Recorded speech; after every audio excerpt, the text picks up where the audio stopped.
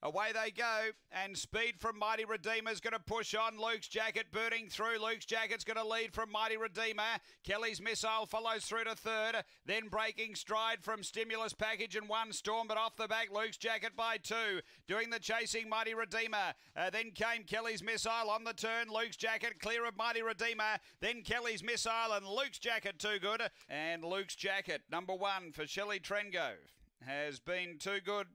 He's had back to back placings, and his quick backup run here has uh, got the prize. Number one, Luke's Jacket. Second to two, Mighty Redeemer uh, for Shane Kerr. And third to nine, which is Kelly's Missile,